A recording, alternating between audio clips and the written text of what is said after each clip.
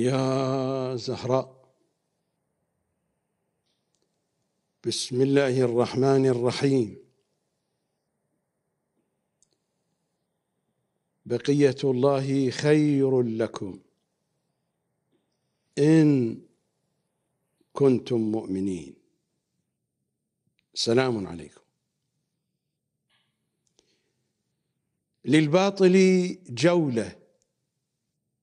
وأية جولة وللحق دولة ولدولة الحق صولات وصولات وصولات وهذه صولة من صولاتها الإعلامية المعرفية والثقافية إنها صولة القمر في مواجهة الزيف كله.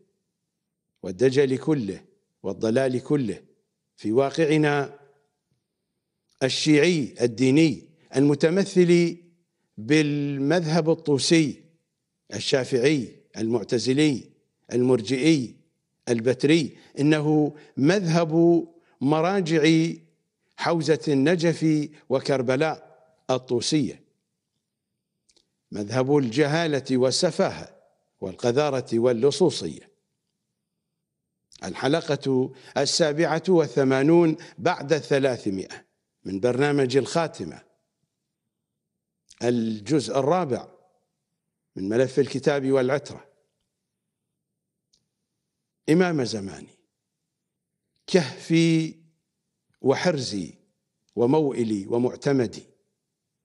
عبدك مغلوب فانتصر. يا قائم آل محمد.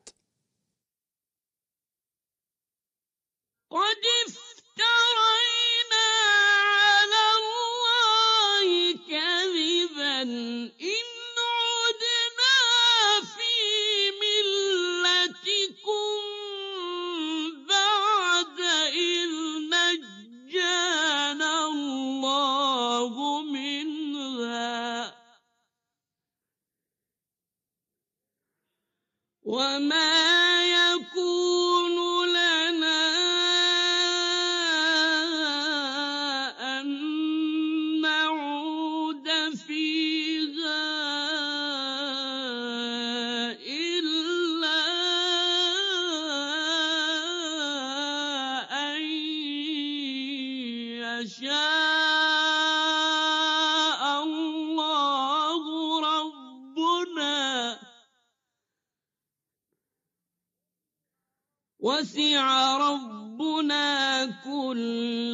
شيء علما. على الله توكلنا. ربنا افتح بيننا وبين قومنا بالحق وأنت خير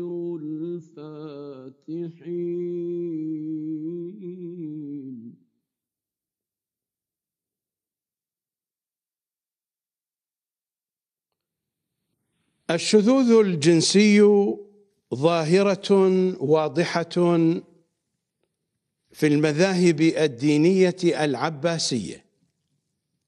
المذهب الطوسي مثالا هذا هو عنواننا الكبير. وهذا هو الجزء الثاني في أجواء هذا العنوان الكبير. ستستمر هذه الأجزاء في حلقات قادمة حتى يكتمل الموضوع.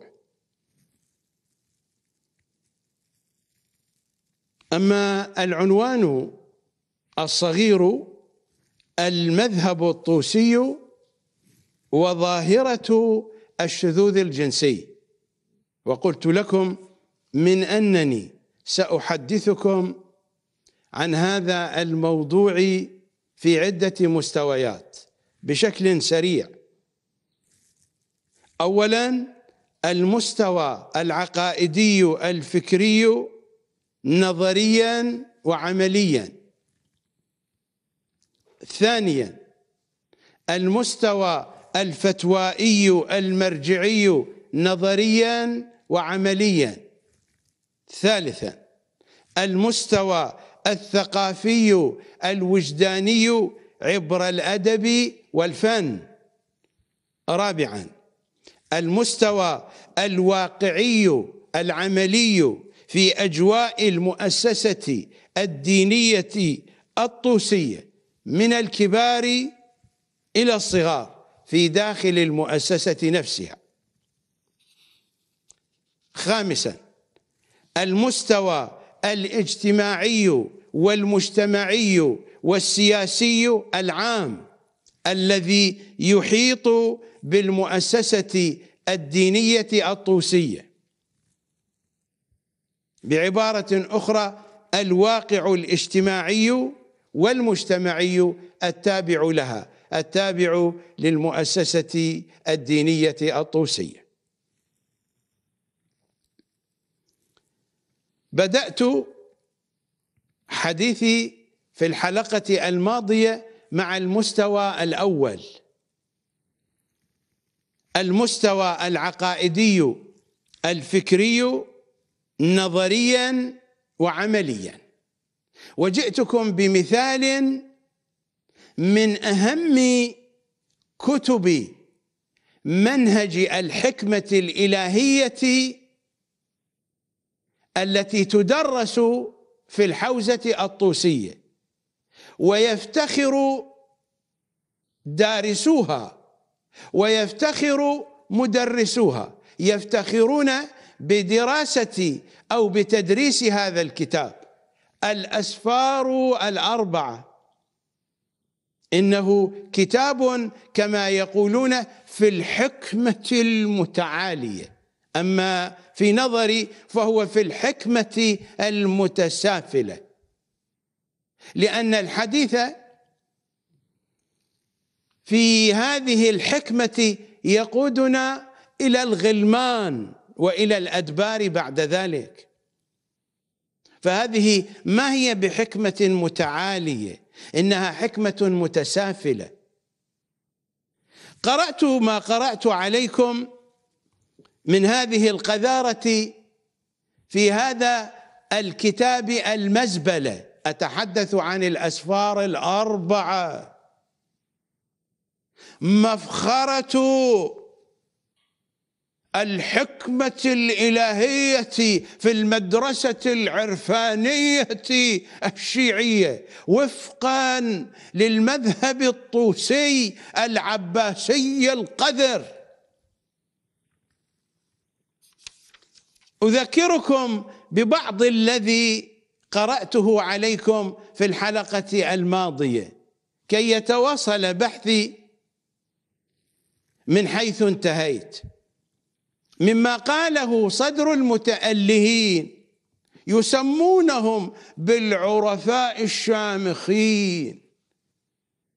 أنا لا أدري هل هم شامخون أم عندهم بعض شيء يكون شامخا عندهم. لا أدري في الحقيقة على أي حال العرفاء الشامخون أصحاب التذوق الإلهي المتذوقون بالذائقة الإلهية المتألهون أرباب القلوب أصحاب المعنى أهل المشاهدة والكشف. هسه ذولا مكشفين من فوق من جوهم ما أدري. أهل المشاهدة والكشف.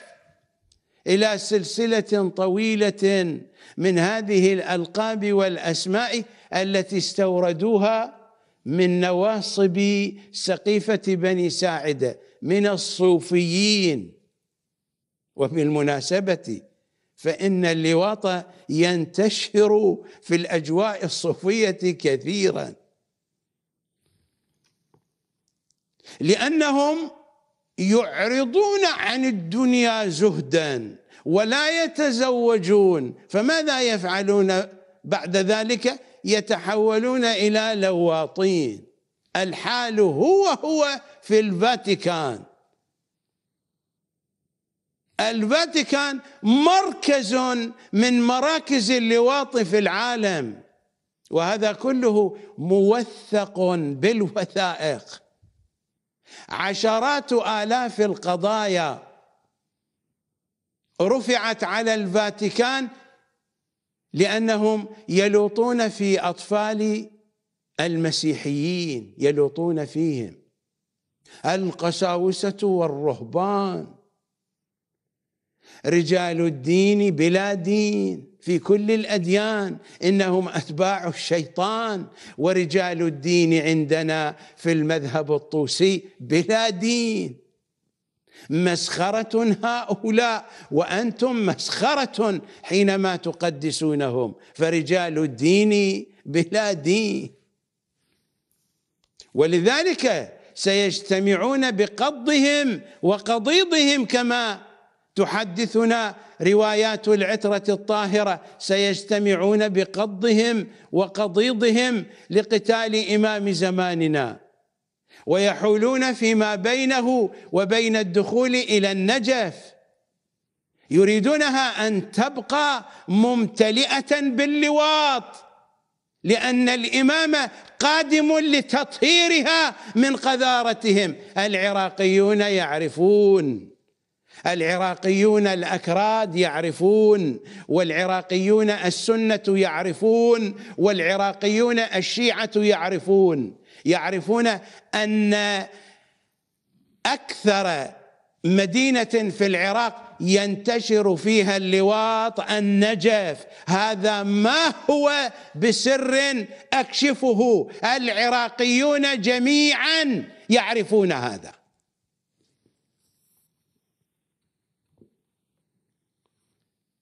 أقرأ من الجزء السابع من الحكمة المتعالية في الأسفار العقلية الأربعة. هذا هو الاسم الكامل للكتاب وهو معروف بكتاب الأسفار أو بكتاب الأسفار الأربعة. هذه الطبعة طبعة دار إحياء التراث العربي بيروت لبنان في الصفحة الثالثة والسبعين بعد المئة. هكذا يقول صدر الدين الشيرازي فمن أجل ذلك أوجدت العناية الربانية في نفوس الرجال البالغين رغبة في الصبيان وتعشقا ومحبة للغلمان الحسان الوجوه ليكون ذلك داعيا لهم إلى تأديبهم. يعني المو حلوين ما يتأدبون. شو يسوون يعني؟ إذا واحد مو حلو شو يسوي يعني إذا مو حلو لا يروح للحوزة. بس الحلوين إذا راحوا للحوزة مدللين. أنا لا أسيء الظن. هو يقول هو هذا حكيم الحوزة وإمام المدرسة العرفانية الطوسية القذرة. هو يقول هكذا. فمن أجل ذلك أوجدت العناية الربانية في نفوس الرجال البالغين. ماذا أوجدت العناية الربانية؟ رغبة في الصبيان وتعشقا ومحبة للغلمان الحسان الوجوه. ليكون ذلك داعيا لهم إلى تأديبهم وتهذيبهم.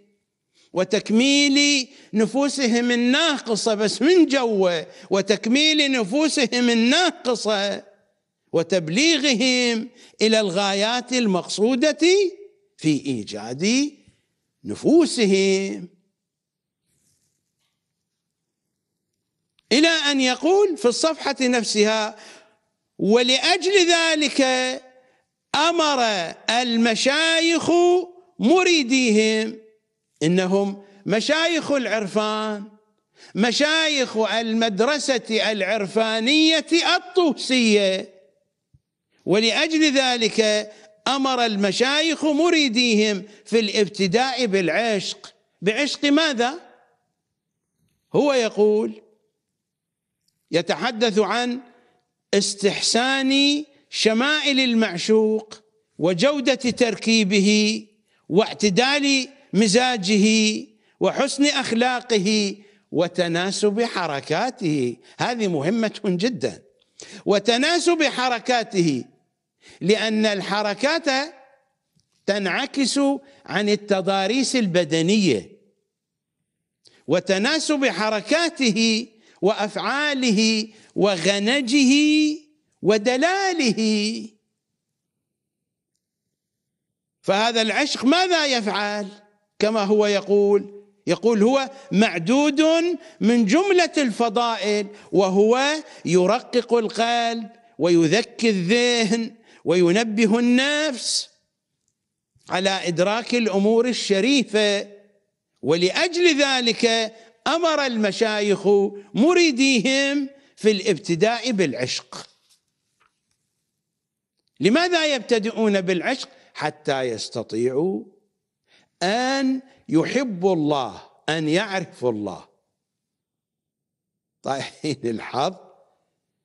زيارات الأئمة وأدعية الأئمة وأحاديث الأئمة في الكافي وغيره في المعارف الإلهية تشككون في أسانيدها وتشككون في متونها. وتردون من عندنا نصير فرخشيه حتى نستطيع أن نحب الله من طيح الله حظكم وحظ المذهب الطوسي. من يوم تأسس إلى هذا اليوم.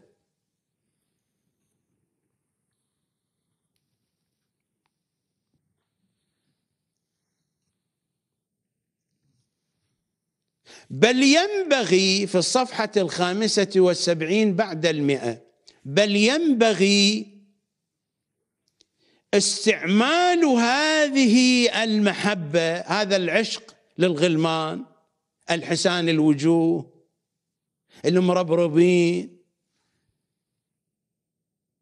بل ينبغي استعمال هذه المحبة في أواسط السلوك العرفاني وفي حال ترقيق النفس وتنبيهها عن نوم الغفلة ورقدة الطبيعة وإخراجها عن بحر الشهوات الحيوانية في هذه المرحلة.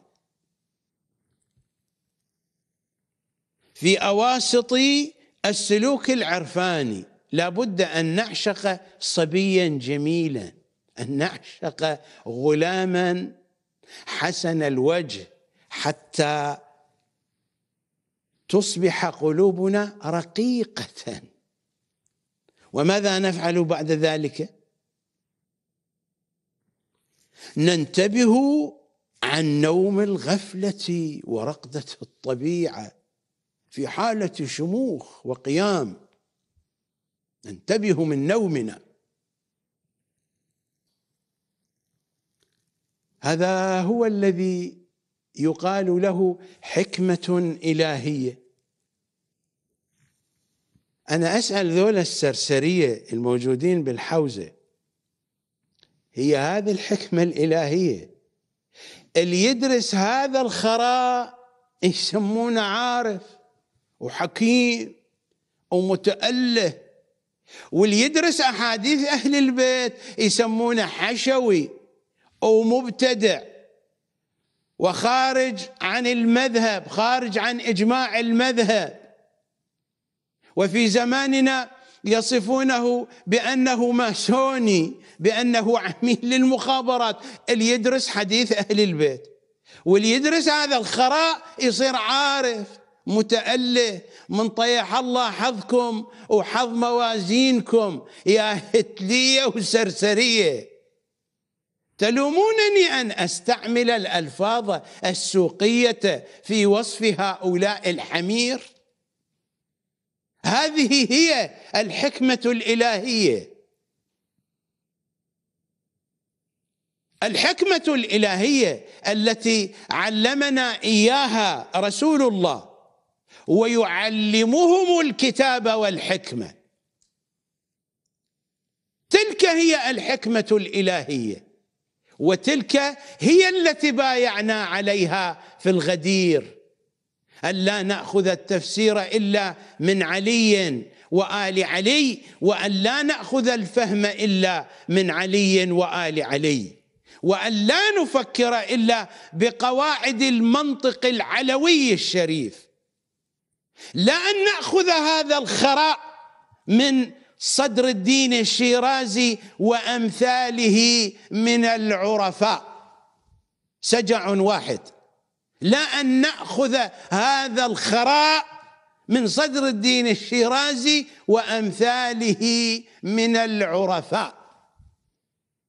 نذهب إلى فاصل.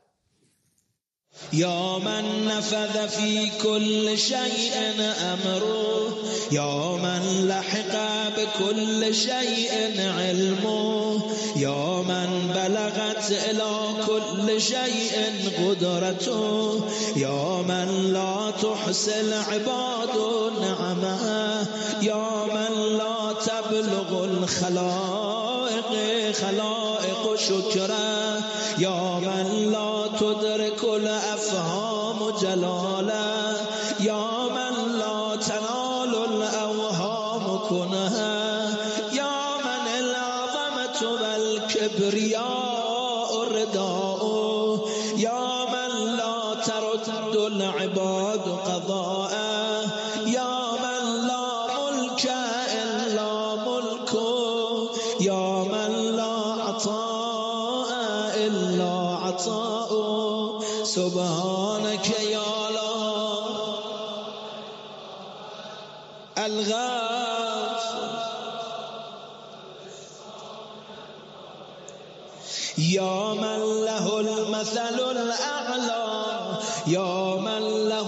له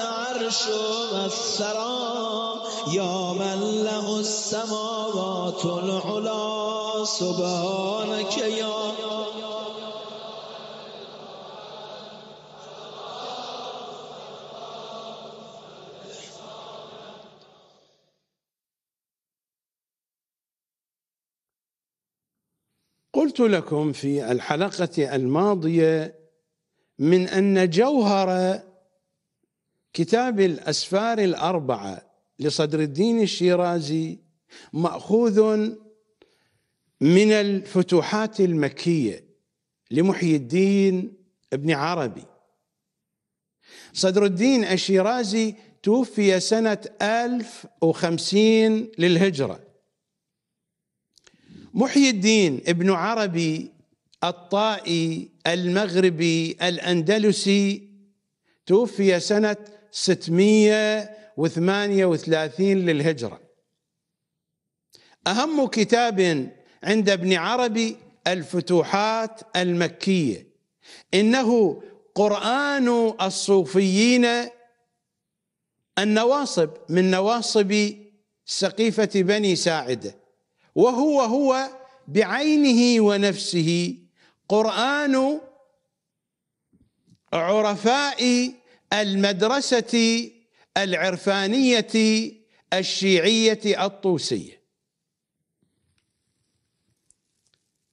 هذا الجزء الذي بين يدي هو الجزء الثالث من الفتوحات المكية.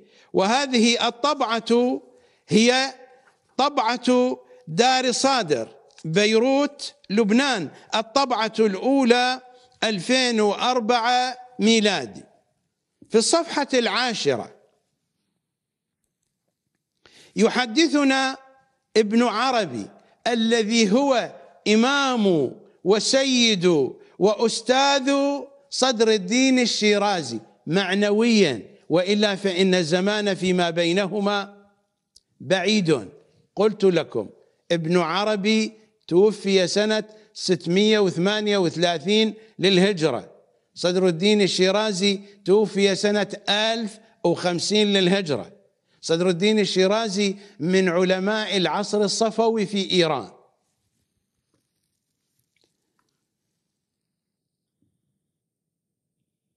صدر الدين الشيرازي يطلب منا كي نصل إلى الله كي نعرف ديننا أن نبدأ بعشق الغلمان.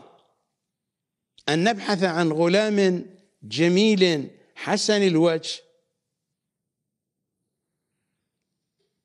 بعيون ناعسة وخدود صقيله كي نعشقه. قربة إلى الله تعالى. نريد أن نصل إلى الله. ما تقوله الزيارة الجامعة الكبيرة من أراد الله بدأ بكم ومن وحده قبل عنكم ومن قصده توجه إليكم. هذا فيه خلل خلل.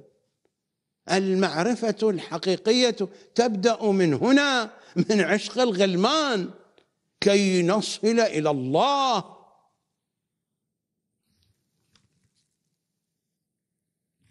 طايحين حظ على يدك.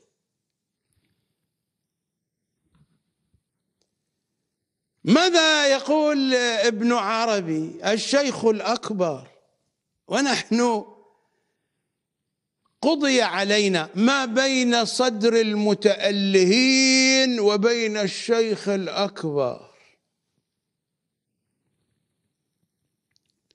هنا يحدثنا عن أئمة العرفان الذين نأخذ الفيض منهم. يقول ابن عربي واعلم أن رجال الله أن رجال الله في هذه الطريقة هم المسمون بعالم الأنفاس وهو اسم يعم جميعهم. وهم على طبقات كثيرة وأحوال مختلفة. إلى أن يقول شيخنا الأكبر ابن عربي لعنة الله عليه يوم ولد ويوم عاش ويوم ألف هذا الكتاب يوم ابتدأ به ويوم انتهى من تأليفه ويوم مات ويوم دفن في قبره. ولعنة الله عليه يوم يبعث حيا. هكذا يقول. ومنهم من رجال الله من يكون ظاهر الحكم. ويحوز الخلافة الظاهرة بين الناس كما حاز الخلافة الباطنة. الخلافة الباطنة تلك صلة فيما بينه وبين الله. ونحن كذلك يمكننا أن نكون إذا ما عشقنا الغلمان والصبيان.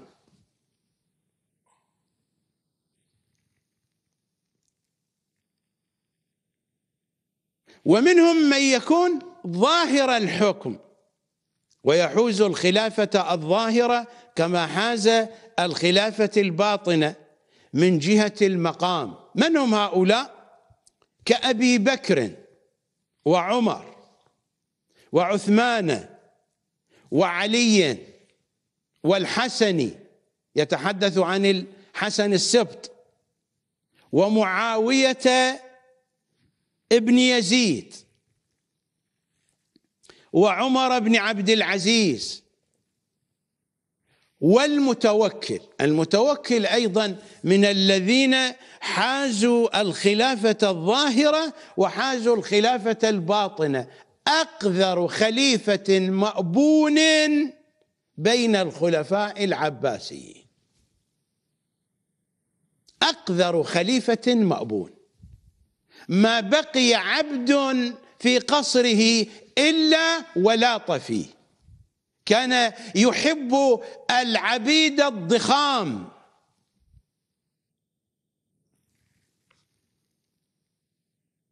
هذا أحد أئمتنا أحد أئمتنا في العرفان. هذا هو ابن عربي. ما أنا الذي أقول. ويستمر في هذا الهراء. اذا أئمتنا الذين يصل إلينا الفيض منهم ظاهرا وباطنا يعني من فوق ومن جوا المتوكل وأمثال المتوكل. عرفتم الخرع الموجود هنا؟ منين جاي؟ جاي من هذه البالوعة هذا الخرع اللي ناكله إحنا في الحوزة في دراسة الأسفار الأربعة ونفتخر بتدريسه ودراسته. هذا الخرع جاي من هاي البالوعة.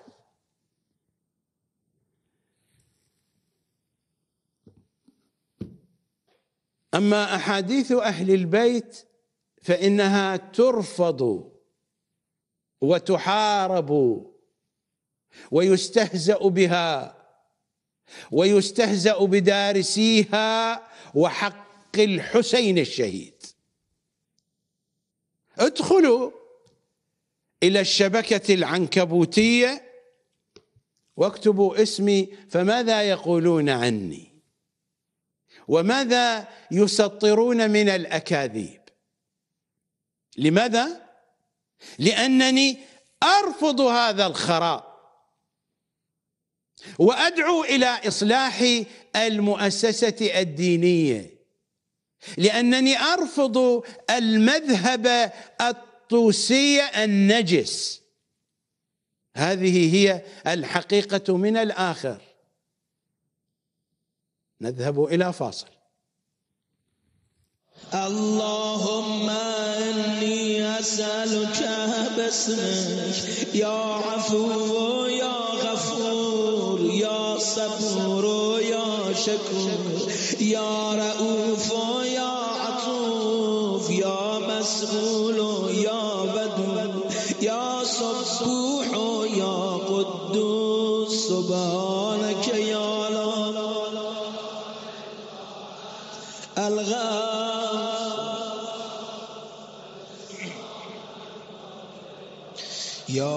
من في السماء عظمته يا من في الأرض آياته يا من في كل شيء دلائله يا من في البحار عجائبه يا من في الجبال خزائنه يا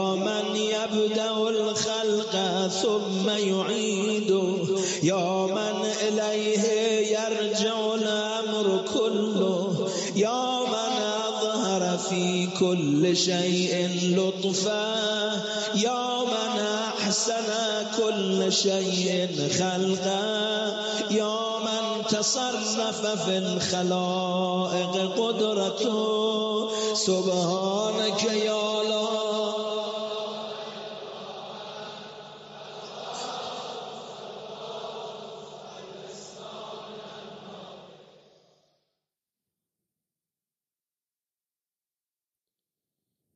أعتقد أن الصورة صارت واضحة بخصوص المستوى الأول المستوى العقائدي الفكري نظريا وعمليا. وقد قرأت ما قرأت عليكم. حتى إذا أردنا أن نبرئ ساحة الجميع من الجانب العملي من أنهم ليسوا متورطين بهذه المفاسد وإنما هو كلام يقال. أسألكم هل هذا هو دين العترة الطاهرة؟ أين هذا في قرآننا؟ أين هذا في أدعيتنا وزياراتنا؟ أين هذا في أحاديث أهل البيت وهي آلاف آلاف آلاف مؤلفة؟ ينكرونها السفلة ينكرونها ويأخذون بعضا منها الذي يتفق مع ثقافة نواصب سقيفة بني ساعدة.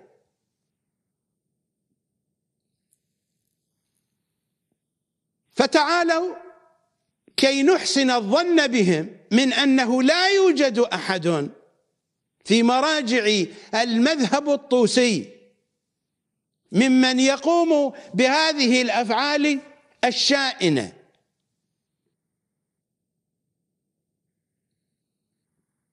لكن هذا المنطق لماذا يدرس ولماذا يقبل ولماذا يرفع شأن أساتذته ولماذا يمجد مؤلفه مؤلف الكتاب؟ ولماذا يحترم الذين يدرسون هذا الخراء؟ في الوقت نفسه يهان الذي يدعو الناس إلى دراسة حديث أهل البيت. لماذا؟ لماذا؟ هناك مشكلة. هناك مشكلة موجودة في بنية المؤسسة الدينية الطوسية. هذه المشكلة خلاصتها في هذا العنوان المذهب الطوسي. هذه المشكلة. مشكلتنا في المذهب الطوسي هذا المذهب العباسي القذر النجس. أنتقل بكم إلى المستوى الثاني. المستوى الفتوائي المرجعي نظريا وعمليا. سأضرب لكم أمثلة من فتاوى مراجعكم الذين تقلدونهم لن أذهب إلى القدماء وإنما سأحدثكم عن الخوئي الذي هو أساس المرجعية المعاصرة. ولا زال مقلدو الخوء يقلدونه. وبالمناسبة كثيرون من مقلدي السيستاني لا يقلدون السيستاني يقلدون الخوئي عمليا لكنهم يقلدون السيستاني في مسألة البقاء على تقليد الخوئي لأنه لا يوجد بين الخوئيين من يعتقد أن السيستاني أعلم من الخوئي فكل مقلدي الخوئي الذين كانوا يعتقدون بأعلميته بحسب هراء الحوزة الطوسية بقوا على تقليده لأنه هو الأعلم لكن البقاء على تقليده تم بتقليد السيستاني في البقاء على تقليد الخوئي. نبدأ من الخوئي. هذا هو الجزء الثاني من كتاب صراط النجاة في أجوبة الاستفتاءات. وهذه الطبعة هي الطبعة الأولى. 1431 هجري قمري دار الصديقة الشهيدة قم المقدسة. هذا هو الجزء الثاني.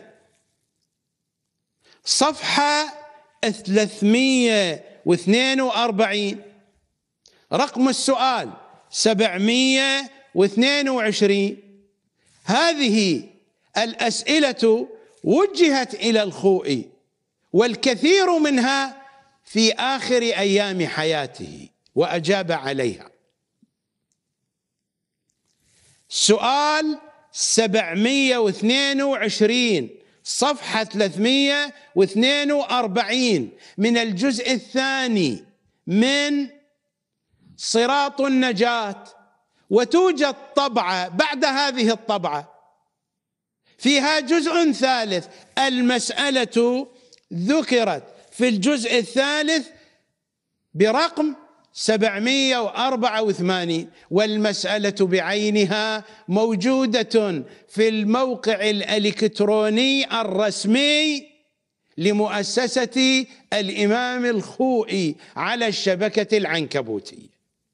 على أي حال أنا أقرأ من الجزء الأول من الطبعة التي أشرت إلى مواصفاتها. ماذا جاء في السؤال؟ هل يجوز لمس العورة من وراء الثياب من الرجل لعورة رجل آخر ومن المرأة لعورة أخرى؟ لمجرد اللعب والمزاح. اي لعب هذا؟ رجل يلعب بعورة رجل آخر. مع فرض عدم إثارة الشهوة. واحد ما يحطها ببخته مع هذا الفرض. واحد يحشيها عدلة. واحد يلعب بغراض الثاني ووحدة تلعب بغراض الثانية بس لله نحكيها عدل. مع فرض عدم إثارة الشهوة. آية الله العظمى أبو القاسم الخوئي هكذا أجاب لا يحرم في الفرض بحسب المفروض في السؤال والله العالم. والله مدللتكم المرجعية. اشتردون بعد؟ واحد هم يلعب بغراض الثاني ووحدة تلعب بغراض الثانية وتونسوا وانسى. لمجرد اللعب والمزاح. بهذا الشرط مع فرض قطعا مع هذا الفرض مع فرض عدم إثارة الشهوة. وعود إحنا نقبض من دبش. هو هذا دين العترة. هذا دين العترة أم هذا دين العباسيين؟ اللوطيين والسحاقيين. العباسيون رجالهم لوطيون ونساؤهم سحاقيات كقوم لوط. أقرأ السؤال مرة أخرى على حضراتكم. أنتم أنتم الذين تقدسون المرجعية التي هي صمام الأمان. هذا الصمام بيامه كان موجودا ما أدري أنا. قولوا لنا وين موجود هذا؟ فوق جوه.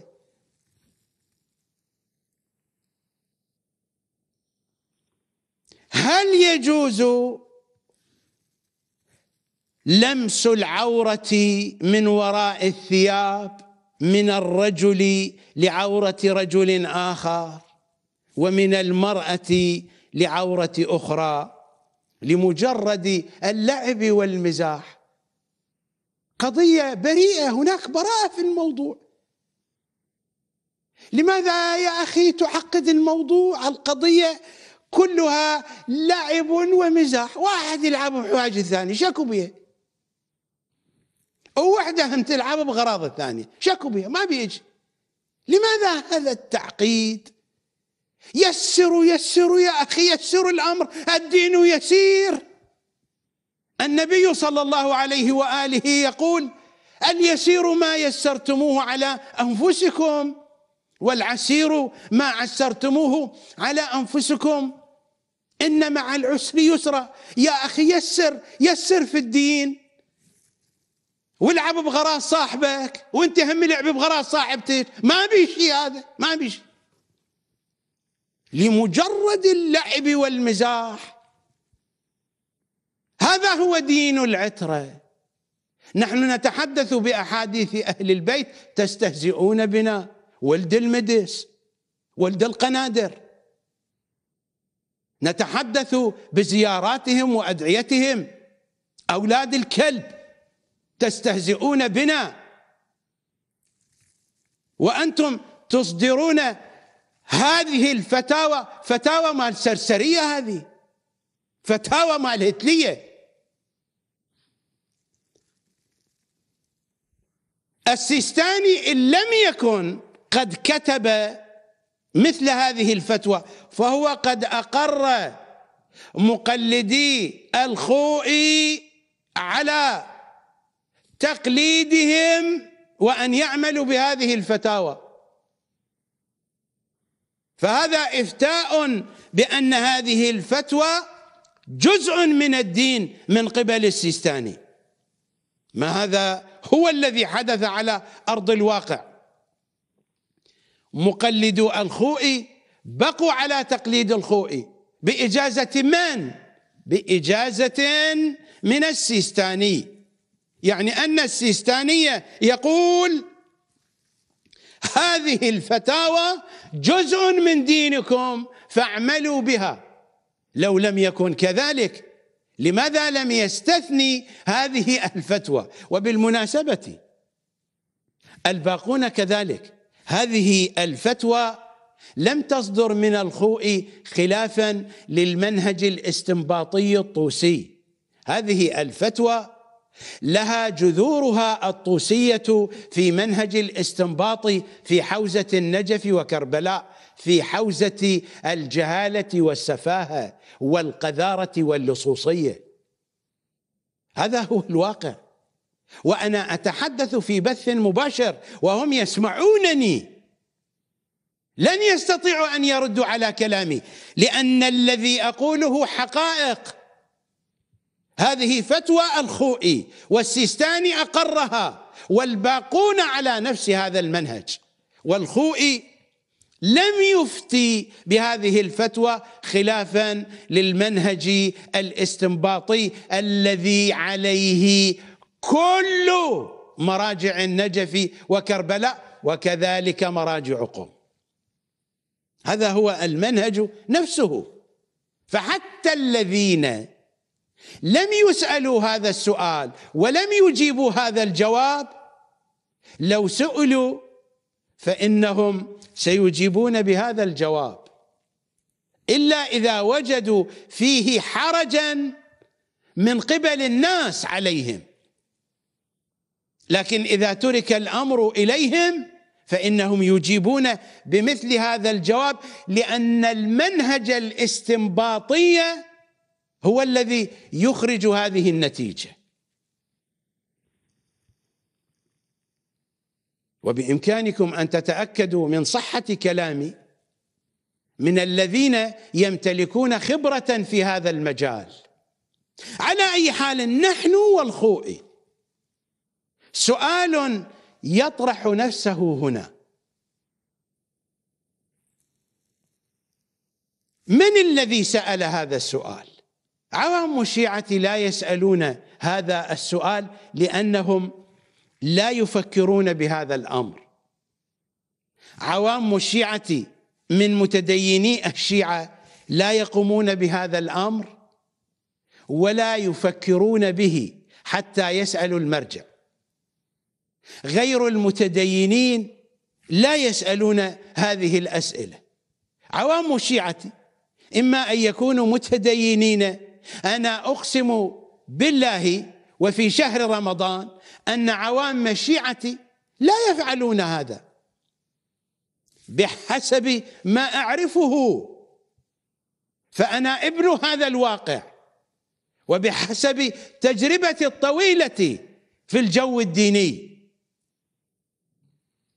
وبالممازجة والاختلاط مع عوام الشيعة ومن مختلف الطبقات. عوام الشيعة من المتدينين لا يقومون بهذا الأمر أصلا لا يخطر في بالهم أن يمد أحدهم يده على عورة صديقه أو قريبه كي يلعب بها. هذا الأمر لا يفعله صدقوني عوام الشيعه عوام الشيعه ضحايا. عوام الشيعه مساكين. لكن مشكلتهم مثل ما نقول في التعبير الشعبي العراقي ناصحهم وفاضحهم واحد. حينما ننصحهم لا يقبلون لا يقبلون. لقد سلبت عقولهم وسلبت إرادتهم ودمرت فطرتهم من قبل مراجع الضلال في النجف وكربلاء. وحق الحسين عوام الشيعة الذين أعرفهم. لا يفعلون هذا. ولا يخطر في بالهم.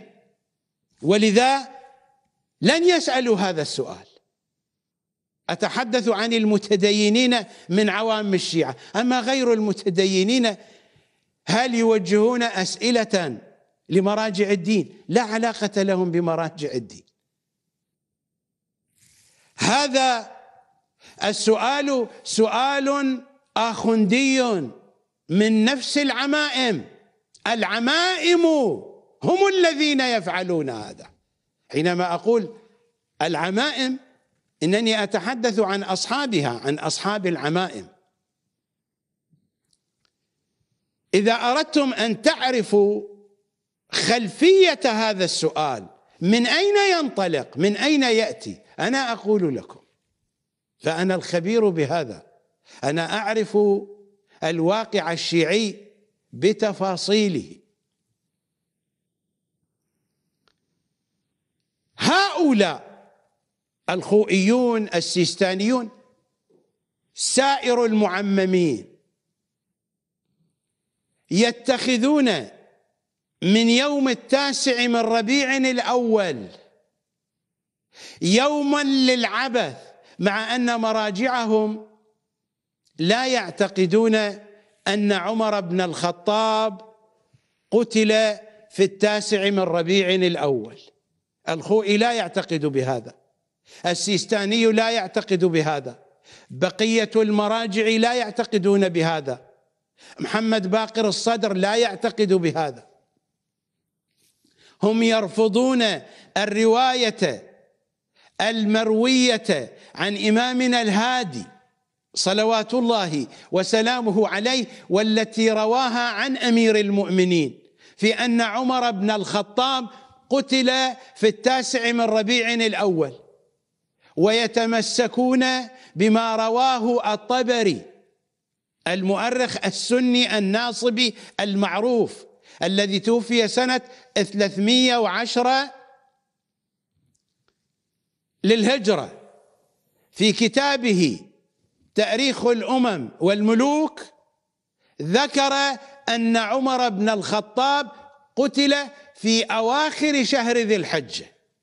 ولذا فإن مراجع النجف وكربلاء يعتقدون أن عمر بن الخطاب قتل في آخر شهر ذي الحجة مثل ما يقول الطبري وبقية المؤرخين من نواصب سقيفة بني ساعدة ويرفضون ما جاء عن أمير المؤمنين برواية إمامنا الهادي صلوات الله وسلامه عليه من أن عمر بن الخطاب قتل في التاسع من ربيع الأول.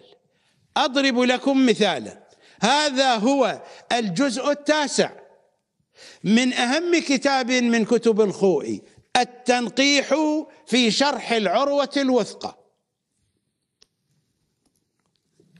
في الصفحة 331 وهو يتحدث عن الأغسال وما يرتبط بغسل يوم التاسع من ربيع الأول.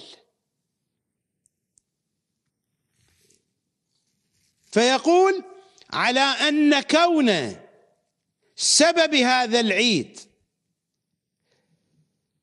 اتفق في هذا اليوم يشير إلى مقتل عمر. على أن كون سبب هذا العيد اتفق في هذا اليوم يعني في اليوم التاسع من ربيع الأول. وإن كان معروفا عند العوام إلا أن التاريخ أثبت وقوعه في السادس والعشرين من ذي الحجة فليلاحظ. وإن كان معروفا عند العوام من أين جاءت المعلومة للعوام؟ من الرواية الطويلة المفصلة عن إمامنا الهادي. والتي رواها عن أمير المؤمنين حيث حدث أمير المؤمنين حذيفة بن اليمان عن فضائل اليوم التاسع من شهر ربيع الأول من كل سنة. من جملة ما ذكره من خصائص هذا اليوم أن عمر بن الخطاب قتل في هذا اليوم. في اليوم التاسع من ربيع الأول. ومن هنا فإن العوام من الشيعة يعتقدون بهذا. أما المراجع فهم لا يعبؤون بما تقوله العترة. وإنما يتمسكون بما أثبته الطبري الناصبي وغيره في كتب التاريخ.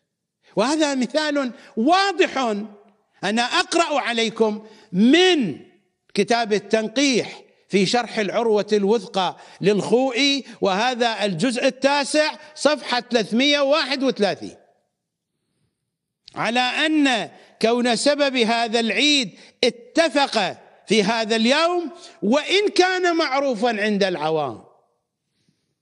إلا أن التاريخ أثبت وقوعه أثبت وقوع مقتل عمر في السادس والعشرين من ذي الحج.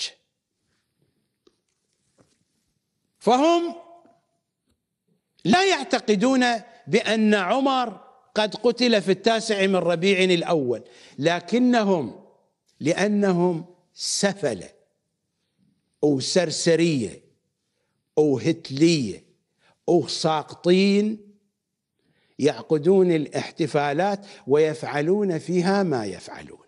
على سبيل المثال هناك حي خاص بالخوئيين والسيستانيين في مدينة قم. يعرف بمدينة العلم. بني أيام الخوئي بناء حديثا وأعطيت تلك البيوت للخوئيين. وبعد ذلك حينما جاء السيستاني وكان على وفاق مع أولاد الخوئي أعطيت أيضا للسيستانيين. في التاسع من ربيع الأول في كل سنة يقيمون الاحتفالات فرحا بمقتل عمر. والسيستاني لا يعتقد بأن عمر قد قتل في التاسع من ربيع الأول. وكذلك الخوئي وكذلك المراجع الذين سبقوا الخوئي وكذلك محمد باقر الصدر وكذلك بقية المراجع الموجودين الآن. لا يعتقدون في أن عمر قد قتل في اليوم التاسع من ربيع الأول. لماذا؟ لأن الرواية عن الإمام الهادي ضعيفة السند ويشكلون على متنها أيضا. بينما يأخذون كلام الطبري من دون سند. ومن دون أن يبحثوا في السند يأخذونه أخذ المسلمات. هذا هو الذي أقوله لكم من أنكم لستم على دين العترة. ما عندكم من فقه من فتاوى من عقائد ما هي من دين العترة؟ هؤلاء أخذوا دينهم من نواصب سقيفة بني ساعدة لكنهم موهوا على دينهم الناصبي بشيء من ثقافة العترة الطاهرة. وأخذوا الأمور السطحية التي تتفق مع الذي يقبله نواصب سقيفة بني ساعدة. هذه الحكاية لطالما أكررها عليكم. هذه هي الحقيقة من الآخر. فهؤلاء في احتفالاتهم هذه كبار المعممين هم لا يعتقدون بأن عمر قد قتل في هذا اليوم لكنهم يريدون أن يفعلوا مفاسدهم. عوام الشيعة تقبل ذلك. فيعقدون مجالس خاصة في مدينة العلم لأصحاب العمائم من الخوئيين والسيستانيين ومن في أجوائهم. يجعلون مكانا خاصا للنساء ومكانا خاصا للرجال والنساء مثل ما تقول الفتوى والرجال مثل ما تقول الفتوى. يلعب بعضهم بأعضاء البعض الآخر. هذا الكلام ما هو افتراء. صدقوني في أحد السنوات التي كنت فيها في مدينة قم جاءني في صبيحة اليوم الذي تلا يوم احتفالهم. هل أقاموه في التاسع من ربيع الأول؟ بعده بيوم قبله بيوم لا أتذكر. لكنهم أقاموا احتفالا بهذه المناسبة. هذا الشخص لا زال حيا وبإمكاني أن أتصل به. وأن أطلب منه شهادة تسجيلا صوتيا. وإن كنت لا أريد أن أحرجه. كان موجودا في ذلك الاحتفال. جاءت هدية جاءت هدية من المكان الذي تحتفل فيه النساء. لم يكن المكان ملاصقا. مكان النساء كان منفصلا. لكن النساء بعثن بهدية. ما هي هذه الهدية؟ لمحفل الرجال. كيكة كبيرة صنعت على هيئة فرج امرأة على هيئة الفرج. وهم أيضا بعثوا بهدية إلى محفل النساء. بعثوا بكيكة كبيرة على هيئة ذكر ذكر رجل وخصيتين. أنا لم أكن موجودا هناك لكن من كان موجودا هناك هو الذي حدثني بهذا الحديث وأنا أثق بحديثه. لو لم أكن واثقا من حديثه لما نقلته في هذا البث المباشر وفي شهر رمضان. في مثل هذه الأجواء تتم هذه الأمور. ولذا فإن السؤال قد صيغ بصياغة اخنديه هل يجوز لمس العورة من وراء الثياب من الرجل لعورة رجل آخر من وراء الثياب ومن المرأة لعورة أخرى. هذه صيغ آخندية. لم يقل السؤال لعورة امرأة أخرى. لو كان كاتب السؤال من عوام الشيعة لكتب هكذا ومن المرأة لعورة امرأة أخرى. ولكن السؤال جاء مكتوبا بهذه الصيغة ومن المرأة لعورة أخرى لمجرد اللعب والمزاح مع فرض عدم إثارة الشهوة. الخوئي هكذا أجاب لا يحرم في الفرض والله العالم بحسب ما فرض في السؤال فليس هناك من حرمة. بالله عليكم هذا هو دين العترة. هل كان الأئمة يفعلون ذلك؟ هل كان أصحاب الأئمة يفعلون ذلك؟ دين العترة من أين نأخذه؟ من أئمتنا عبر رواة الحديث؟ هل كان رواة الحديث يفعلون هذا؟ أم أن الأئمة كانوا يفعلون هذا؟ من أين جئتم بهذا الدين؟ وأئمتنا يقولون لنا ما من شيء من أحكام الدين من شؤون الدين إلا وهو في الكتاب والسنة في حديث النبي والعترة الطاهرة في سنتهم الشريفة. ما من شيء إلا وهو موجود في الكتاب والسنة. أين هذا من الكتاب أو من السنة؟ مناعي الوالدين. نأتي بالروايات تنكرونها. ثم تأتوننا بهذه القذارة وتجعلونها دينا. والخوئي يضيف هذه العبارة والله العالم. أي علم هذا؟ من أفتى بغير علم. بغير علم من الكتاب أو من العترة أكبه الله على منخري في نار جهنم. وهذا مصداق من مصادق الفتيا بغير علم. السيستاني يؤيد هذا لأنه أقر مقلدي الخوئي على العمل بكل فتاوى الخوئي. ميرزا اجواد التبريزي مرجع خوئي آخر. أيضا يعلق مجيبا على هذا السؤال لأن هذا الكتاب صراط النجاة يشتمل على إجابات الخوئي وإجابات ميرزا جواد التبريزي. الذي قالوا عنه بعد وفاة الخوئي بأنه هو الأعلم. هسه إحنا ما ندري يا هو الأعلى. محمد الروحاني الأعلى.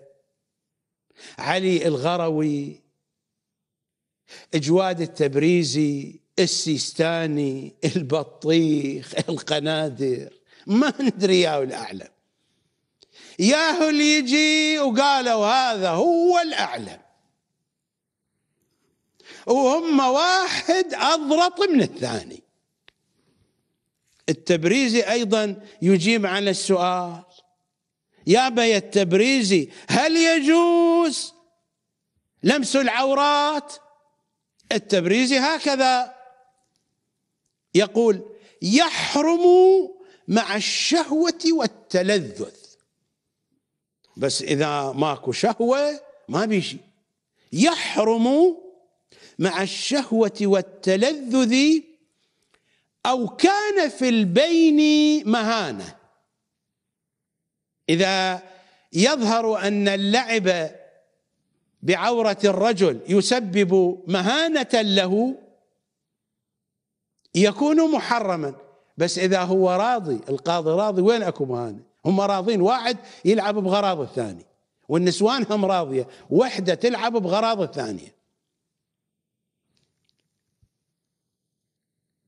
تلاحظون أن الفتوى عن الرجال والنساء بالضبط مثلما حدثتكم عن الذي يجري في مدينة العلم وفي غيرها مدينة العلم. هذه مدينة الخوئيين والسيستانيين مدينة العلم. تخر علم من كل مكان من كل صفحة من فوق ومن جوا. وهذا هو العلم هذا هو العلم. واحد يلعب بغراض الثاني. هذا شذوذ جنسي أو لا المستوى الثاني. الشذوذ الجنسي في المستوى الفتوائي المرجعي نظريا وعمليا. قلت لكم اتفلوا بوجهي. إذا ما أجيب لكم الوثائق. ومن كتبهم.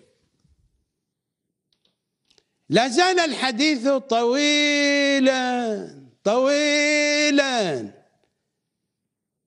والله لأفضح المذهب الطوسي فضيحة مجلجلة فيما بين الشيعة والسنة فأنا على علم الكثيرون من السنة يتابعون برنامجي هذا. لأفضح المذهب الطوسي في هذه الحلقات فضيحة مجلجلة. وما هذا الذي أتحدث عنه إلا شيء بسيط بالقياس إلى الفضائح القادمة. هذا لا يعد بشيء الذي أتحدث عنه الآن. لا أتحدث عن الشذوذ الجنسي. إنما أتحدث عن تفاصيل الشذوذ الجنسي وما بعده وما بعده سيجعلكم تنظرون إلى الشذوذ الجنسي في المذهب الطوسي لا قيمة له. القبائح في المذهب الطوسي عظيمة وإني لأفضح المذهب في هذا البرنامج. ما بين الشيعة والسنة ما بين المسيحيين وغيرهم.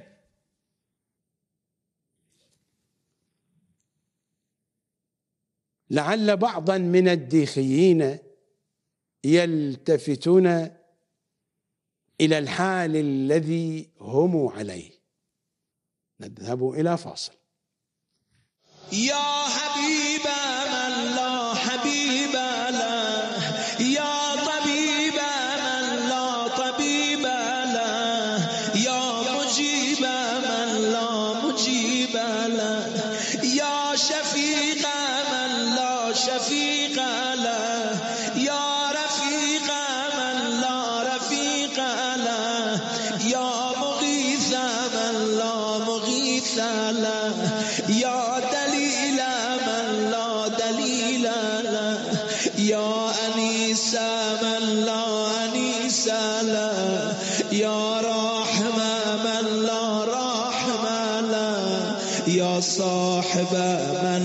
صاحب لا سبحانك يا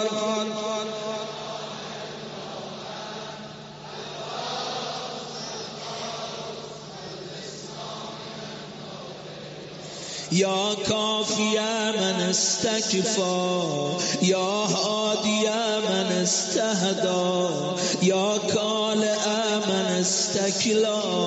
يا یا يا من استرعى یا شافی من استشفا یا قاضی من استقضا یا مغنی من استغنا یا موفی من استوفا یا مقوی من استقوا یا ولی من استولا سبحان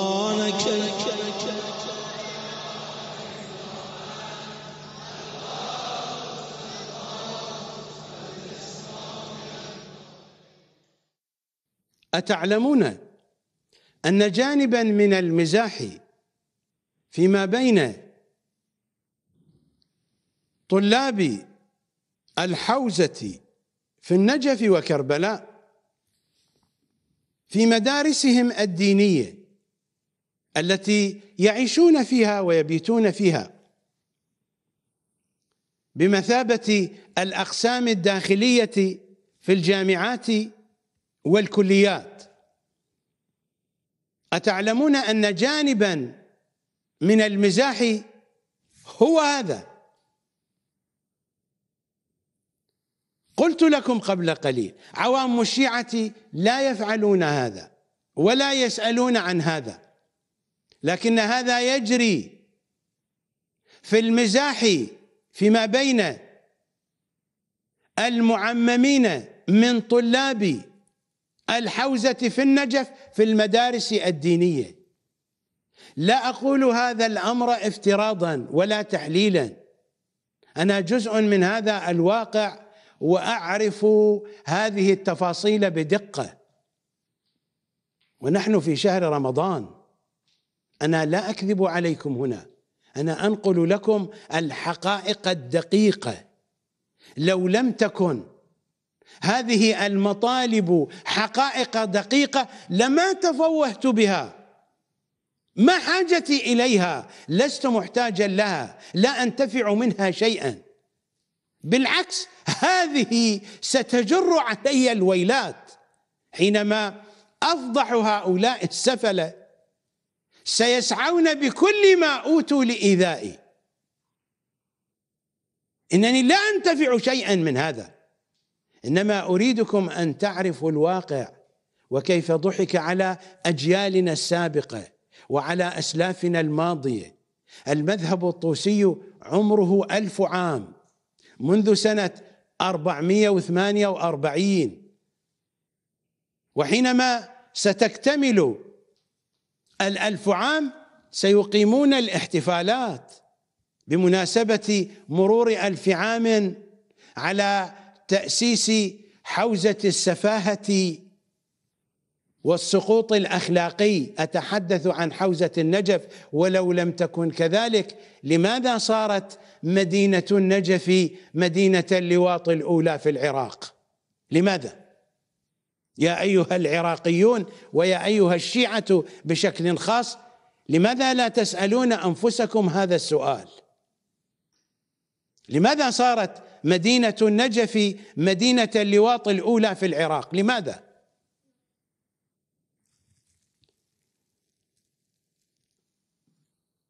ماذا نقرأ في أحاديث العترة الطاهرة؟ وكيف أن إبليس نشر اللواط في قوم لوط؟ الرواية طويلة. هذا هو الكافي. وهذا هو الجزء الخامس من طبعة دار التعارف. بيروت لبنان صفحة 547 باب 377 الرواية الخامسة وهي رواية مفصلة عن إمامنا الباقر صلوات الله وسلامه عليه ماذا فعل؟ إبليس كي يعلم قوم لوط اللواط. بحسب قرآننا فإن اللواط لم يكن معروفا وكذلك السحاق قبل قوم لوط. علماء الآثار يقولون شيئا آخر ذلك راجع إليهم. بحسب قرآننا فإن اللواط لم يكن معروفا وكذلك السحاق قبل قوم لوط. الآيات صريحة في ذلك. لا أريد أن أخوض في هذا الموضوع.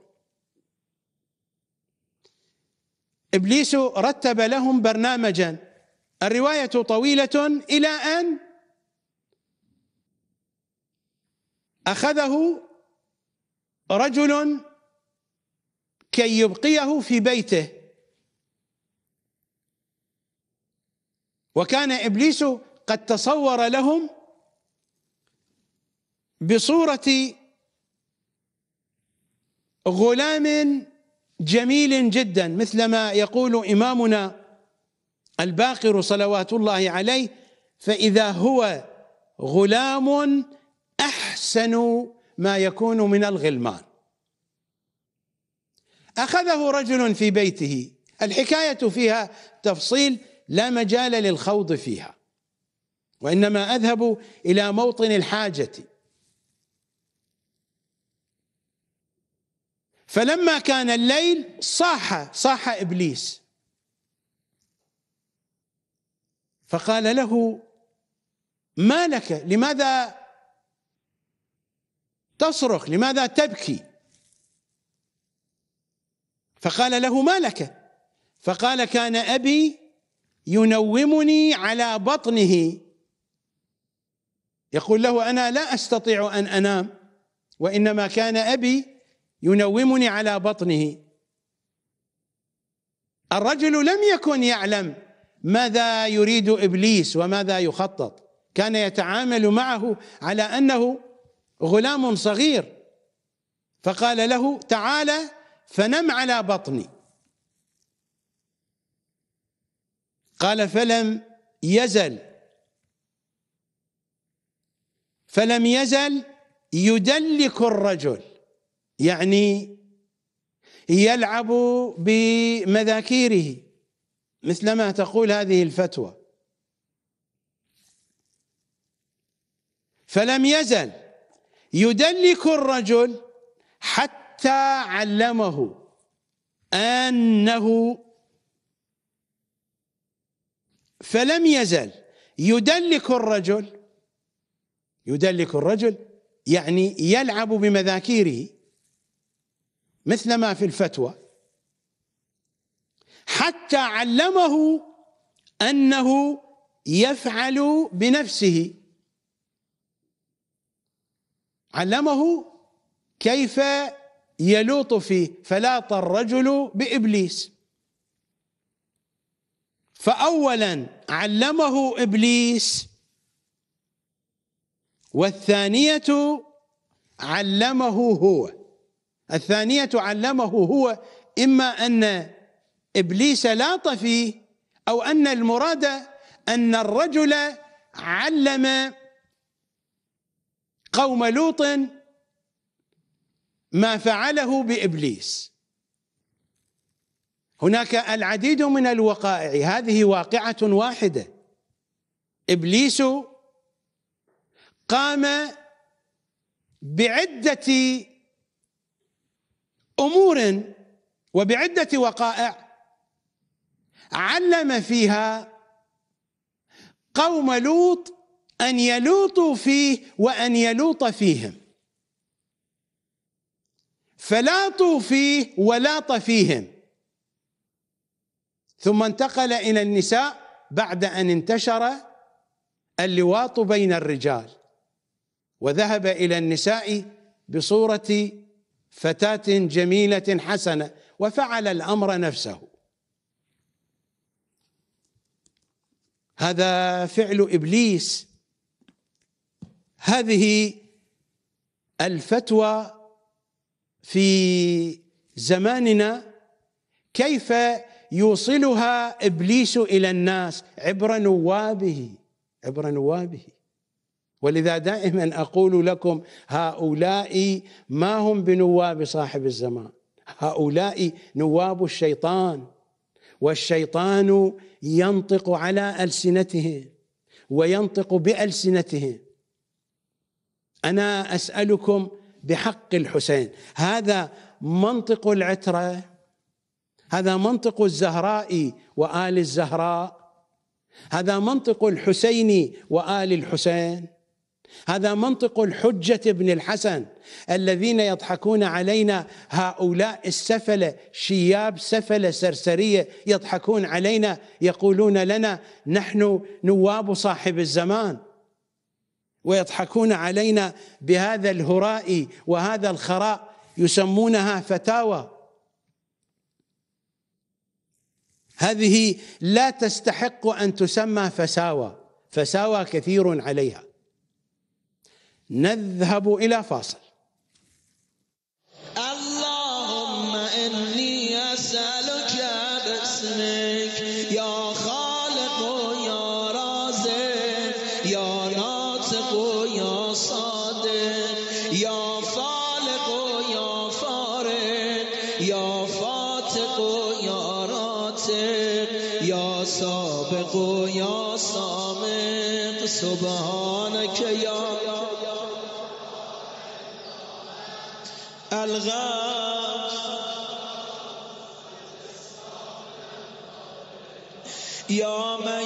يقلب الليل والنهار. يا من جعل الظلمات والأنوار. يا من خلق الظل والحرور. يا من سخر الشمس والقمر. يا من قدر الخير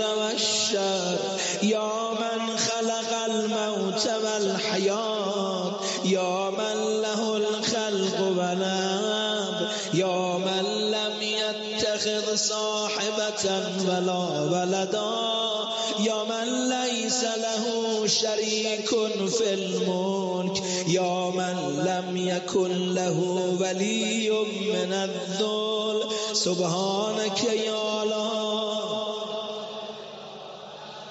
الغالب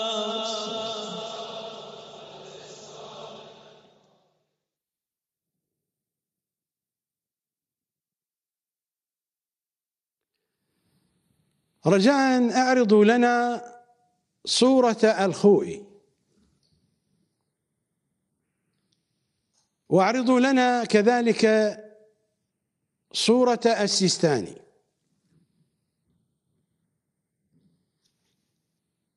وأعرضوا لنا صورة إجواد التبريزي هؤلاء هم الذين يصدرون لنا هذه الفتاوى. لن أعلق أكثر من الذي علقت وإنما أنتقل بكم إلى فتوى أخرى من نفس الأجواء من مراجعنا الكبار ومن الأجواء النجفية الطوسية ومن المدرسة الخوئية. المدرسة الخوئية هي المدرسة المسيطرة على الواقع الشيعي في النجف وغير النجف. في النجف في كربلاء في قم وفي مشهد في كل مكان. في لبنان في باكستان توجد مدارس وحوزات الهيمنة والسيطرة فيها لتلامذة الخوئي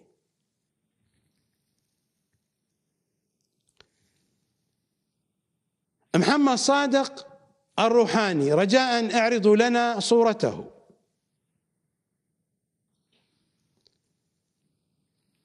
من تلامذة الخوئي وهو الذي كان يقول عن الخوئي من أنه أعلم علماء الشيعة في عصر الغيبة الكبرى. توفي قريبا محمد صادق الروحاني وبعد وفاته خرج علينا الكثيرون يحدثوننا من أنه كان حامي حمى المذهب. حامي حمى المذهب الطوسي. ألا لعنة الله على المذهب الطوسي. رجاء أعرضوا لنا صورة موقعه الإلكتروني الرسمي. هذه صورة من موقعه الإلكتروني الرسمي. واعرضوا علينا بعد ذلك صورة للفتوى التي أريد عرضها وقراءتها على المشاهدين. وها هي صورة الفتوى أمام المشاهدين. سأقرأها. رجاء أبقوا الصورة إلى أن أكمل قراءة الفتوى. السؤال. ما حكم إدخال الزوجة شيء؟ يفترض بحسب العربية شيئا. ما حكم إدخال الزوجة شيء والقراءة الصحيحة شيئا؟ في دبر الزوج أثناء المداعبة. هل هو جائز أم حرام؟ أم يجعل الزواج باطلا ويفصل بين الزوجين؟ مثل اللواط. السؤال فيه شيء من الارتباك ويفصل بين الزوجين مثل اللواط. يبدو أن السائل قد ارتبك ذهنه. فلا يوجد مثل هذا الشيء من أن اللواط يفصل بين الزوجين إلا في حالة إذا كان هناك رجل لاط بغلام وأوقب فيه. لاط بغلام وأوقب فيه. يعني أولجه في دبره. فإن أم ذلك الغلام وأخته وبنته إذا كان عنده من بنت أو تكون بعد ذلك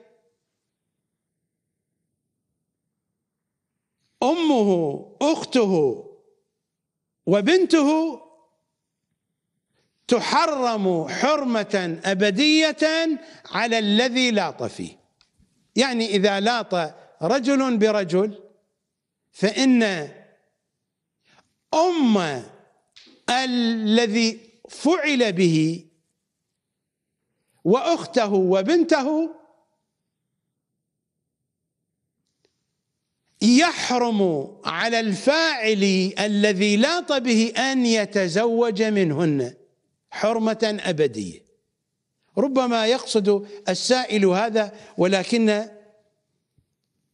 صورة السؤال لا علاقة لها بهذا الموضوع. نعود إلى أصل السؤال. ما حكم إدخال الزوجة شيء شيئا في دبر الزوج أثناء المداعبة؟ الجواب باسمه جلت أسماؤه. لا إشكال في ذلك بين الزوج وزوجته. وهناك في زاوية الجواب هناك الختم الرسمي الشرعي لهذا المرجع لمحمد صادق الروحاني. هذا لواط صناعي.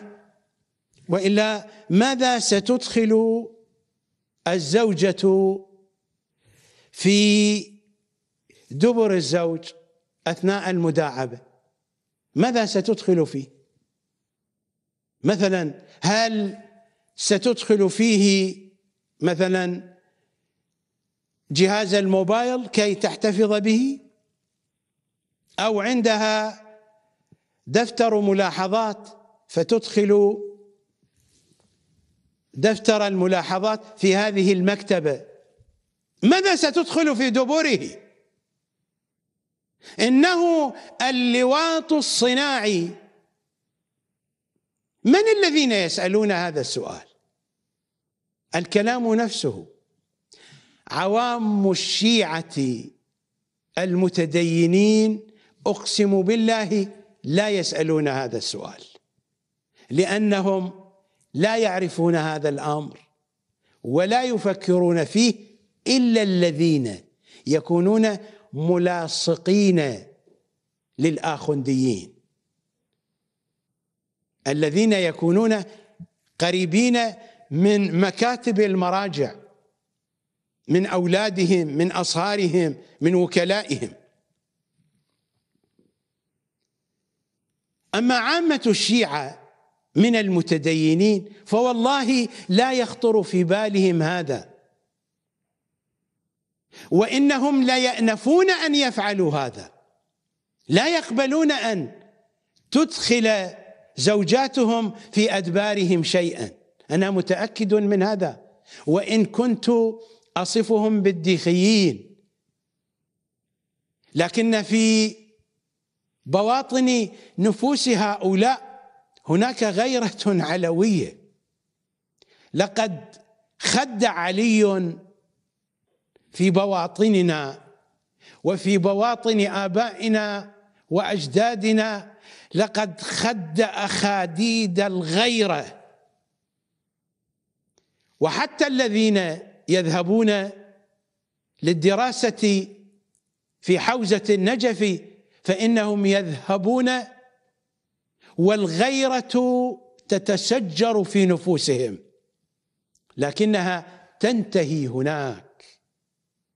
حينما يعانقون المذهب الطوسي القذر النجس وإلا كيف يجيب مرجع بهذا الجواب؟ وبالمناسبة البقية على نفس هذا الجواب.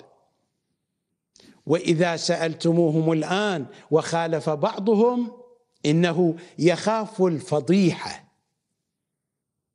لماذا؟ لأن محمد صادق الروحاني أجاب وفقا للمنهج الاستنباطي الأصولي الطوسي النجسي الناصبي القذر وإلا هذا يجري في بيوت الأئمة. أنا سأحدثكم عن موقف الأئمة ولكن بعد أن أستعرض فتاوى الضلال هذه فتاوى الشذوذ الجنسي. هل هذا موجود في بيوت الأئمة؟ الزوجة تلوط بزوجها لواطا صناعيا أتعرفون خلفية هذا السؤال؟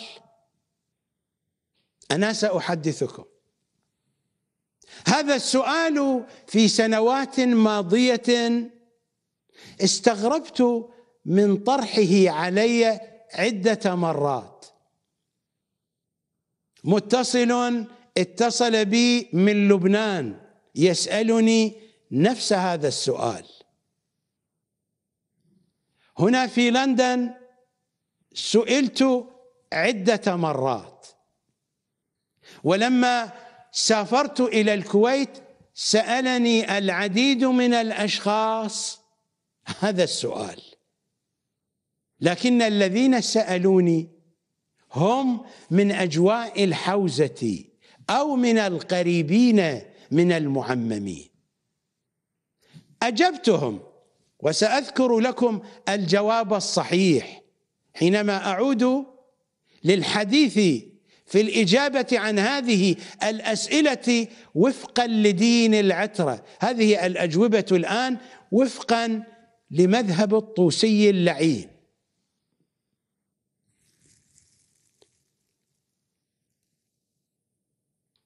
بحثت عن الموضوع. لماذا هذا السؤال؟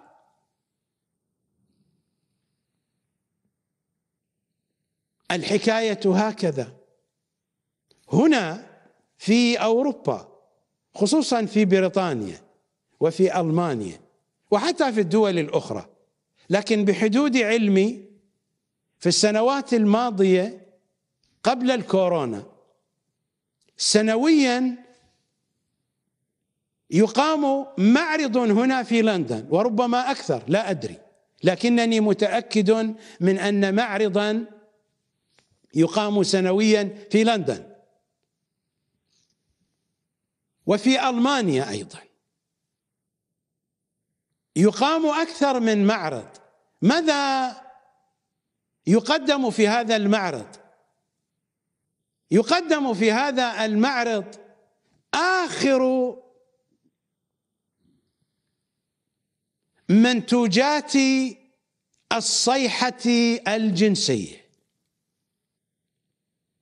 من الملابس والإكسسوارات والأدوية والمراهم والمشروبات التي ترتبط بالعملية الجنسية.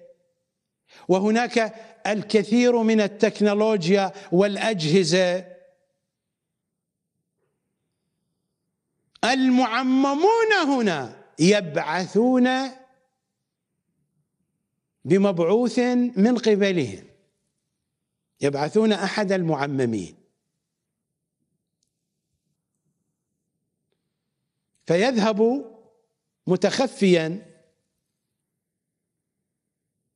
كي يطلع على ما يعرض في هذا المعرض ويشتري وربما يأخذ وكالة من الشركات لأن بعض المعممين يبيعون هذه الأجهزة على سائر المعممين في الدول الأخرى في الخليج مثلا. هناك من المعممين هنا في لندن يشترون هذه الأجهزة الجنسية ويبعثون بها إلى المعممين في دول الخليج. عندنا تعبير في الثقافة الشعبية العراقية.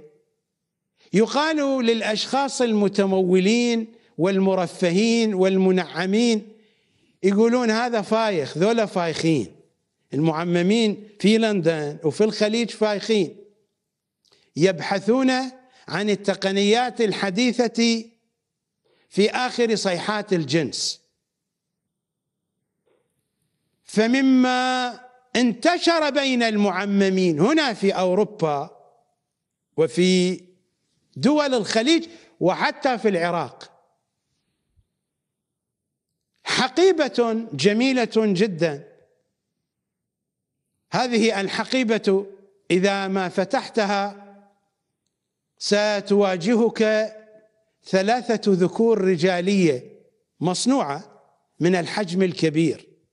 أحدها باللون الأبيض والآخر باللون الأحمر والثالث قد يكون باللون الأخضر أو ربما باللون البنفسجي أو ربما باللون الأزرق. الثالث يختلف لونه من حقيبة إلى أخرى. كل لون له خصائصه. هناك الكتاب الدليل. هذه الذكور تنتشر وتنتصب إما عبر بطاريات أو عبر الشحن على الكهرباء.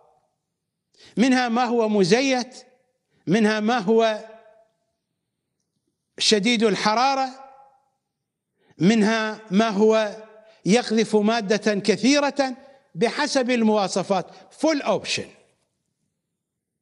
أصحاب العمائم صدقوني هذه المعلومات دقيقة. اشتروا هذه الحقائب. هم لا يعطونها لزوجاتهم ربما البعض منهم إنما يعطونها لزوجاتهم بحسب ما يقولون من أنه زواج منقطع. إلا الذي اتفق مع زوجته بالعقد الدائم لكنهم في الغالب يمارسون قذاراتهم الجنسية مع النساء بالعقد المنقطع. ولا هو عقد منقطع ولا بطيخ زنا رسمي على أي حال. فيطلبون من هذه المرأة بعد أن يشحنوا الذكر الصناعية بالطاقة الكهربائية إما من البطارية أو من الكهرباء الرئيسة.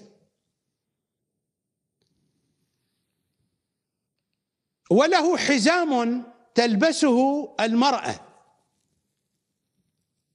بحيث يكون في موضع الذكر عند الرجل.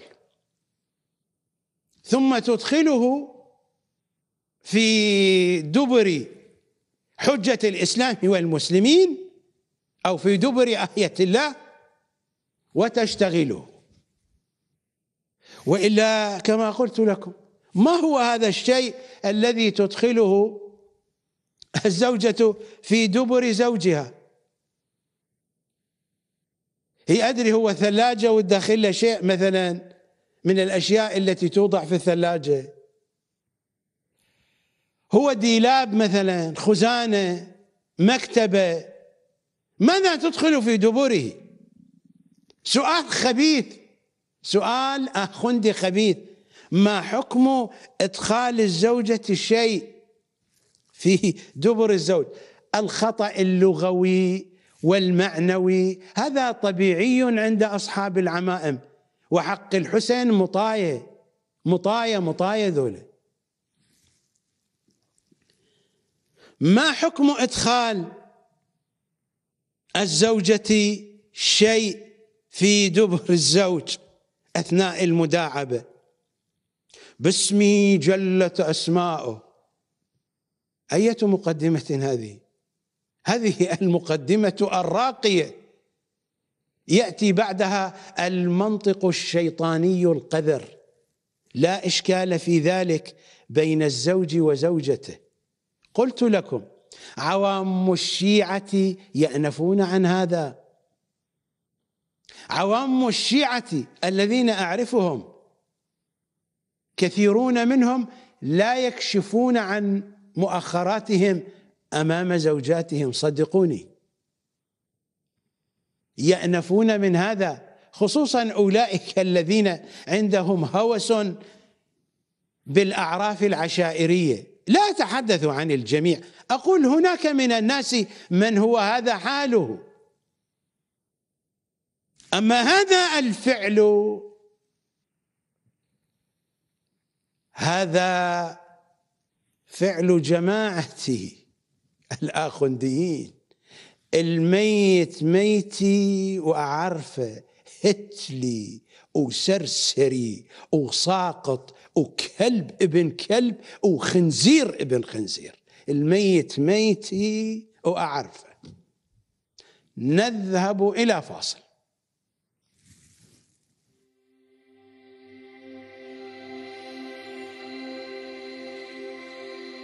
من حديث طويل رواه أبو بصير عن إمامنا أبي جعفر الباقر صلوات الله وسلامه عليه.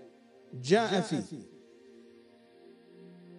خروج السفياني واليماني والخراساني في سنة واحدة وفي شهر واحد. في يوم واحد. ونظام كنظام الخرز يتبع بعضه بعضا. فيكون البأس من كل وجه. ويل لمن ناواه. وليس في الرايات أهدى من راية اليماني. هي راية هدى لأنه يدعو إلى صاحبكم. فإذا خرج اليماني حرم بيع السلاح على الناس وكل مسلم. وإذا خرج اليماني فانهض إليه. فإن رايته راية هدى. ولا يحل لمسلم أن يلتوي عليه. فمن فعل فهو من أهل النار. لأنه يدعو إلى الحق وإلى طريق مستقيم.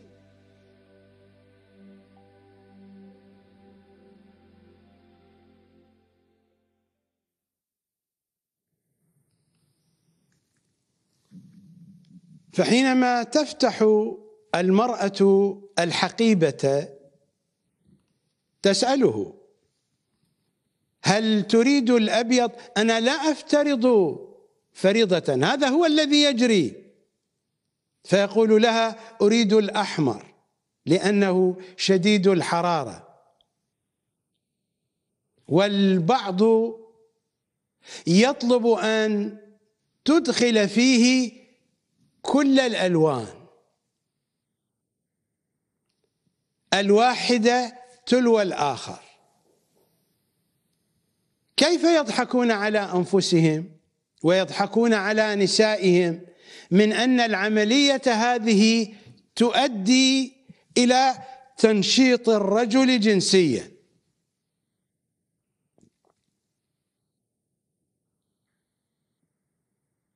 وهذه كذبة لا حقيقة لها. لا في العلم المعاصر ولا في ديننا. فهم يضحكون على النساء من أن يفعلن هذا بهم لأجل تنشيط حالتهم الجنسية.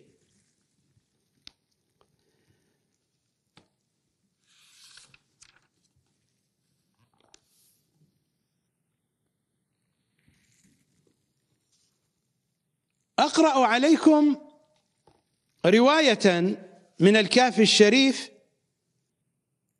عن إمامنا الصادق صلوات الله وسلامه عليه. هذا هو الجزء الخامس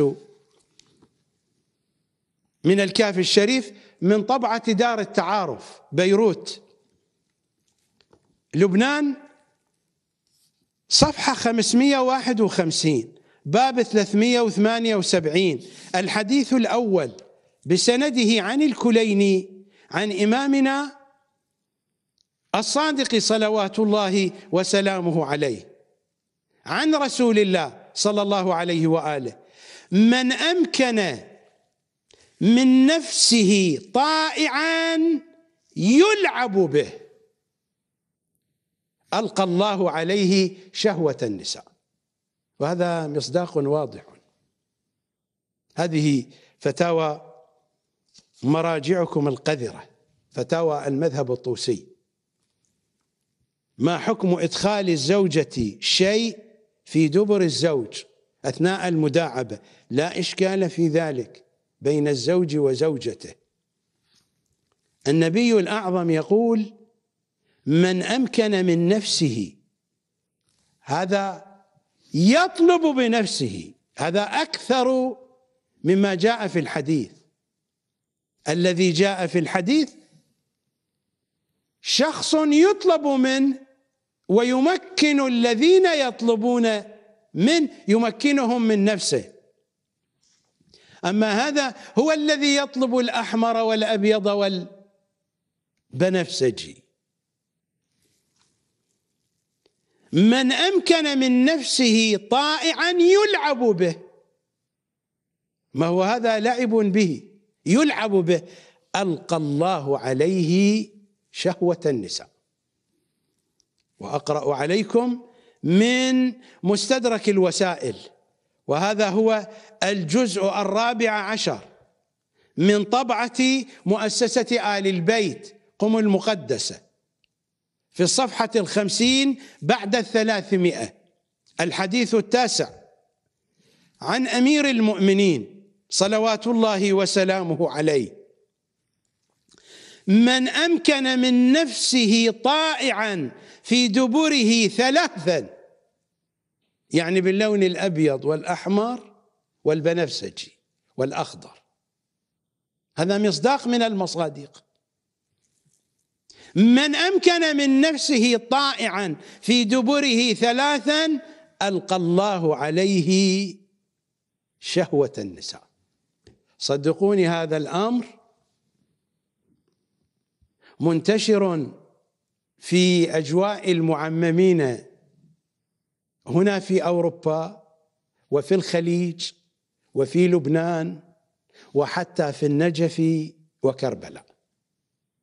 للذين لهم تواصل مع المعممين الفايخين العايشين هنا في أوروبا. وهناك الكثير أيضا من الشباب الذين لهم علاقة بالدوائر المرجعية وهم قريبون منها أيضا وقعوا في هذا المأزق.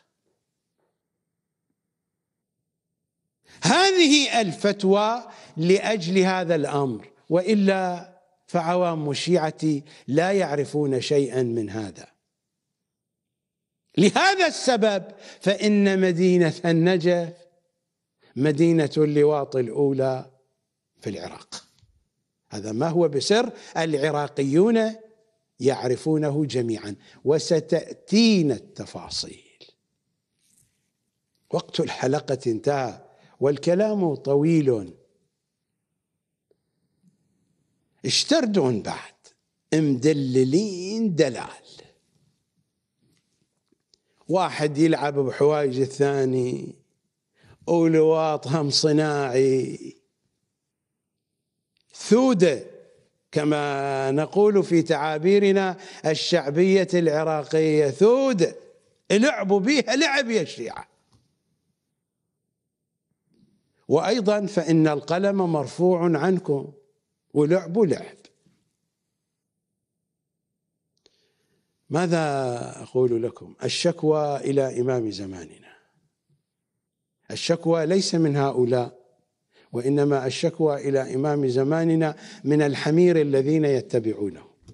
ذولا سقاطات وهتلية وإحنا نعرفهم. وهؤلاء هم أصل الفساد. أتحدث عن العمائم الكبيرة عن عمائم المذهب الطوسي القذر. هؤلاء شياطين نواب الشيطان. وإلا كيف يصدرون هذه الفتاوى؟ أقول لأخوتي وأخواتي وأبنائي وبناتي من غير الطوسيين اللحناء. شفتوهم شفتوا الطوسيين شلون؟ معدلين تعدل من غير الطوسيين اللعناء ومن غير أتباعهم الخوثان الثولان الأغبياء. أسألكم الدعاء جميعا نلتقي غدا إن شاء الله تعالى. في أمان الله.